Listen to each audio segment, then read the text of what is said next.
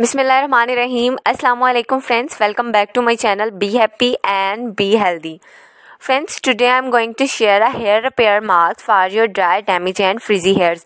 अगर आपके हेयर्स किसी केमिकल ट्रीटमेंट की वजह से या फिर आप अपने हेयर्स को बहुत ज़्यादा कल्स करते हैं या हीट करते हैं स्ट्रेट करते वक्त या फिर अगर आप ऐसे किसी प्लोटेड एरिया में रहते हैं या ऐसे पानी से अपने हेयर्स को वॉश करते हैं, जिससे आपके हेयर्स बहुत ज़्यादा ड्राई और डैमेज हो चुके हैं या आपको बहुत ज़्यादा हेयर लॉस का सप्लीटेंट्स का डेंड्रफ का प्रॉब्लम है तो ये हेयर रिपेयर मास्क आपके हेयर्स की ड्राइनेस को कम करेगा, उन्हें डीपली नरिश करेगा और आपके हेयर्स को सिल्की स्मूथ बनाएगा।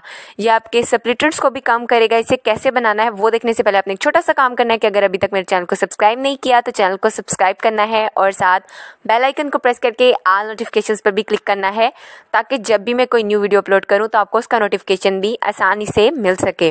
तो फ्रेंड्स इसको बनाने के लिए हमें जो फ़र्स्ट इंग्रेडिएंट चाहिए वो है कोकोनट ऑयल कोकोनट ऑयल यानी नारियल का तेल। सेकेंड इंग्रेडिएंट जो हमें चाहिए वो है कोकोनट मिल्क ये कैसे बनाना इसका तरीका भी मैं अभी आपके साथ शेयर करूँगी। देन जो थर्ड इंग्रेडिएंट आपको इसके लिए चाहिए वो है राई बनाना।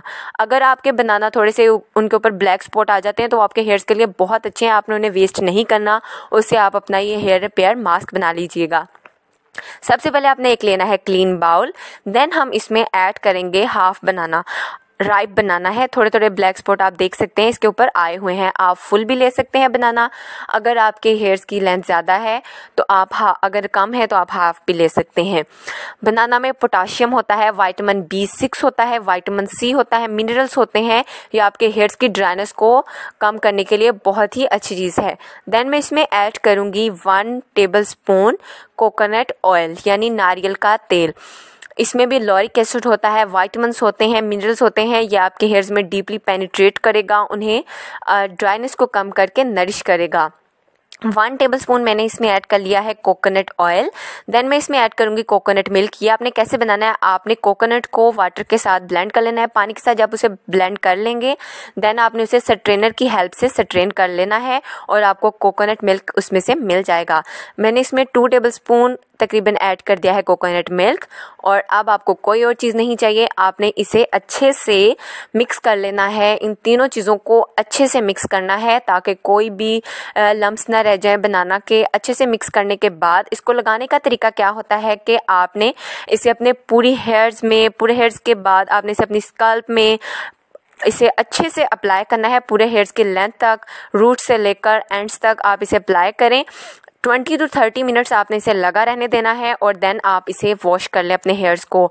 इसे एक दफ़ा यूज़ करने के बाद ही आपको बहुत ही अमेजिंग रिज़ल्ट नज़र आएगा। आप इसे वीक में टू से थ्री टाइम्स भी यूज़ कर सकते हैं या फिर आप इसे फ़र्स्ट टाइम जब यूज़ करेंगे तो आपको बहुत अच्छा रिज़ल्ट नज़र आएगा।